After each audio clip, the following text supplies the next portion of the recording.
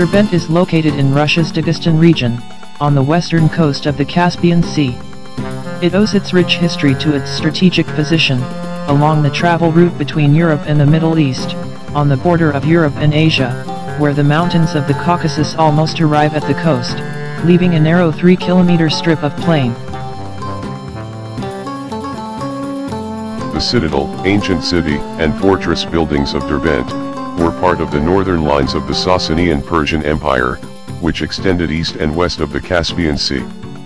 The fortification was built in stone. It consisted of two parallel walls, that formed a barrier from the seashore up to the mountain. The town of Derbent was built between these two walls, and has retained part of its medieval fabric.